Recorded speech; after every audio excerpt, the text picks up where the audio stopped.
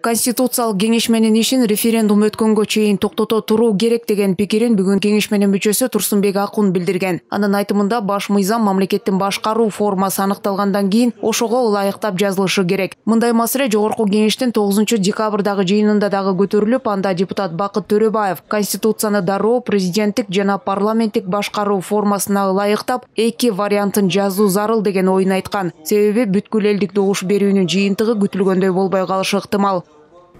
Бир жолу отуз жылдын ичинде форма правленияны биз элге койбойлукпу эл аныктасын а балким эртең парламент башкарууга форма тиги чечим чыгып калышы мүмкүн ошон үчүн урматтуу коллегалар мен айтат элем мына азыр конституция боюнча иштеп атышат конституциялык кеңешме.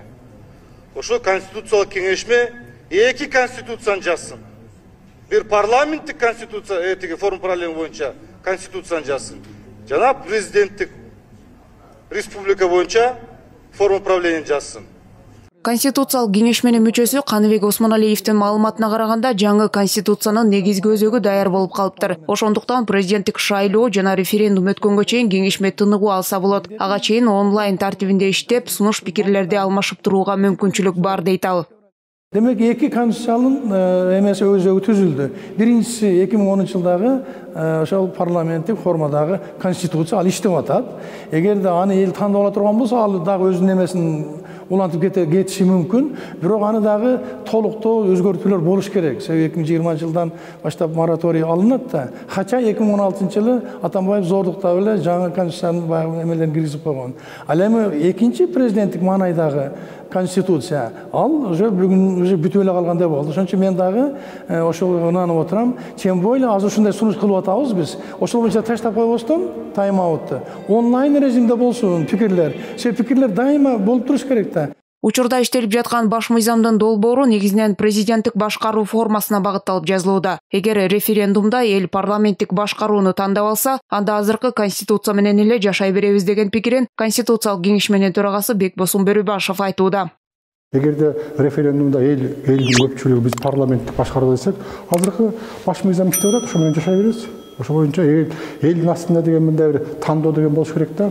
Мисалы үчүн мына азыркы баш мыйзам онунчу жылы кабыл алынган он жылдан бери иштеп атат.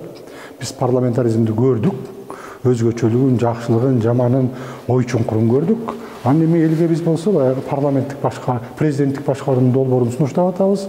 Парламенттик башкарууну эл абдан жакшы билет өзгөчөлүгүн. Анан эми президенттик башкаруу боюнча биздин биз иштеп чыккан долбоордун карап көрүшөт таанышышат анан эл өзү тандап алат анда эч кандай коркунучу жок. Биз бул эки миң онунчу жылы жазылган баш мыйзамды биз өзгөрткөн жерибиз жок. Ошол баш мыйзам ошол бойдон турат. Биз бир буквасына да точкасына да тийген жокпуз. Жаңы баш мыйзамдын долбоорун иштеп чыгуу үчүн конституциялык кеңешме ушул жылдын жыйырманчы ноябрында президенттин милдетин аткаруучу талант мамытовдун жарлыгы менен түзүлгөн. Анда долбоордо кайсы багыттарды ачып берүү керектиги так жазылгандыгын бөрүбашев кошумчалады каныкей бозгунова кудурат ташмурзаев тилек асхатбеков бешинчи канал